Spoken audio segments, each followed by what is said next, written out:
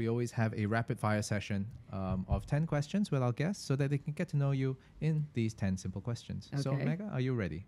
Not really. Not but really, okay. but we're still going to do this, yeah, right? You we'll committed. do it. Yeah. Yeah, we do it. All right, here's Megha Singh with the epic questionnaire.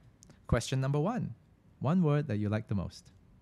Intention. Intention. One word you dislike very much. Fear.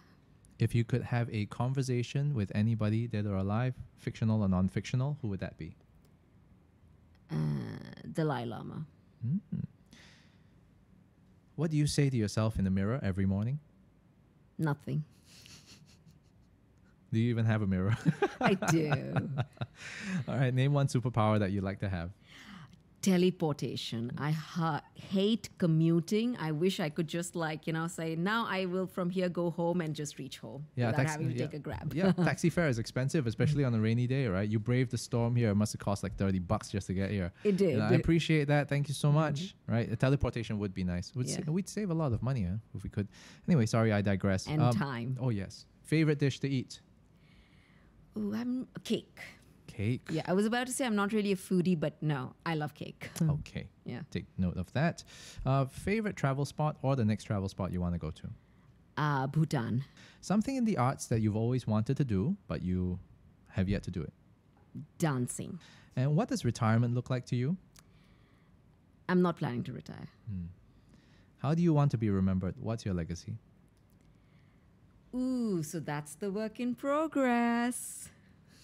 okay.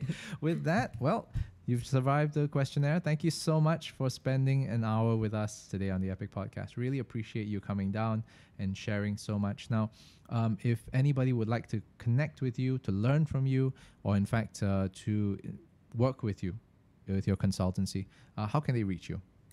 So uh, they can reach out to me on my Instagram, which is at the rate M A M E G H A. And also my email is uh, at b inc.asia. So that's where you can connect with me. And I just want to say thank you so much, Edric, for inviting me. Uh, this is my first ever podcast interview. And you made it so smooth and so nice. And thank you to your team here who have been amazing. So, yeah, Thank overall, you. very grateful for this opportunity. Thank you very much. And again, thanks to the guys over at Mojo Ideas.